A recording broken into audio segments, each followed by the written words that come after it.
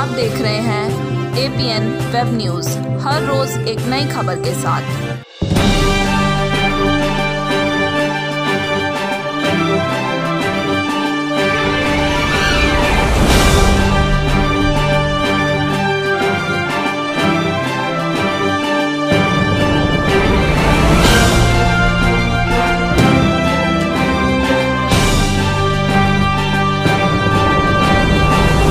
ਕਿਹੜਾ ਸ਼ੋਰੂਮ ਬੰਦ ਕਰਵਾਇਆ ਤੇ ਕੀ ਕਾਰਨ ਜੀ?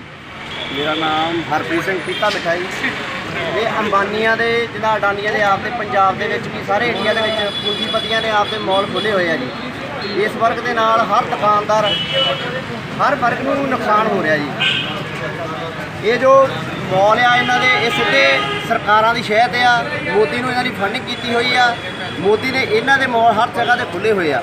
ਉਹ ਕਿਸਾਨਾਂ ਦਾ ਇਹ ਰੋਸ ਆ, ਜੋ ਤਿੰਨ ਆਰਡੀਨੈਂਸ ਇਹਨਾਂ ਨੇ ਖੇਤੀਬਾੜੀ ਦੇ ਸੰਬੰਧ ਜਾਂਦੇ ਆ ਉਹ ਬਿਲਕੁਲ ਹੀ ਗਲਤ ਆ। ਜਦੋਂ ਸਾਨੂੰ ਹੀ ਸਾਨੂੰ ਇਹ ਸਾਡੇ ਲਈ ਸਾਨੂੰ ਪਤਾ ਸਾਡੇ ਲਈ ਘਾਤਕ ਆ ਧੱਕੇ ਨਾਲ ਸਾਡੇ ਦੇ ਥੋਪੇ ਜਾ ਰਹੇ ਆ। ਉਸ ਦੇ ਵਿਰੋਧ ਵਿੱਚ ਅਸੀਂ ਜਲੰਧਰ ਦੇ ਵਿੱਚ ਚੋਰੀ ਛੁਪੇ ਜਿਹੜੇ ਮਾਲ ਖੁੱਲੇ ਆ ਉਹ ਬੰਦ ਕਰਾਉਣ ਆਏ ਆ। ਸਰ ਮੰਨ ਲਓ ਇਹਨਾਂ ਤੁਸੀਂ ਇੱਕ ਮਹੀਨਾ ਹੋ ਗਿਆ ਤੁਸੀਂ ਸੰਘਰਸ਼ ਕਰਦੇ ਨੂੰ ਫਿਰ ਵੀ ਕੋਈ ਸੁਣਵਾਈ ਨਹੀਂ ਕੁਝ ਹੋ ਨਹੀਂ ਰਿਹਾ ਬਿੱਲ ਰੱਦ ਨਹੀਂ ਹੋ ਰਿਹਾ ਕੀ ਕਾਰਨ ਹੈ ਇਹਦਾ ਪਿੱਛੇ ਮੰਨਦੇ ਦੇਖੋ ਹੋ ਇਹ ਸਰਕਾਰਾਂ ਦੀ ਕੋਈ ਧੱਕੇਸ਼ਾਹੀ ਹੋ ਗਈ। ਇਹ ਕਿਸਾਨਾਸ਼ਾਹ ਰਾਜ ਕਰਨਾ ਚਾਹੁੰਦਾ ਆ। ਪਰ ਇਸ ਟਾਈਮ ਮੋਦੀ ਸਰਕਾਰ ਪੂਰੇ ਸੰਤੁਲਨ ਜਿਹੜਾ ਦਿਮਾਗੀ ਸੰਤੁਲਨ ਦਾ ਠੀਕ ਨਹੀਂ ਆ ਜਿਹੜਾ ਕਦੇ ਰੇਲਾਂ ਬੰਦ ਕਰ ਰਿਹਾ ਕਦੇ ਕੁਝ ਇਹ ਕਰ ਰਿਹਾ ਇਦਾਂ ਦੇ ਡਰਾਵੇ ਦੇ ਰਿਹਾ ਜੀ। ਸਰ ਮਾਲ ਬੰਦ ਹੋਣ ਨਾਲ ਕੁਝ ਨੌਜਵਾਨ ਵੀ ਇੱਥੇ ਬੇਰੋਜ਼ਗਾਰ ਹੋ ਰਹੇ ਉਹਦੇ ਪਿੱਛੇ ਕੀ ਕਰ ਮੰਨਦੇ ਹੋ? ਨੌਜਵਾਨ ਹੀ ਬੇਰੁਜ਼ਗਾਰ ਹੋਏ ਉਹ ਪੰਜਾਬ ਦੇ ਆ ਉਹ ਕਿਹੜਾ ਬਾਹਰ ਦੇ ਆ? ਅਸੀਂ ਵੀ ਉਹਨਾਂ ਲਈ ਖੜੇ ਆ ਜਾਂ ਕਿਹੜਾ ਅਸੀਂ ਆਪ ਦੇ ਲਈ ਲੜ ਰਹੇ ਆ?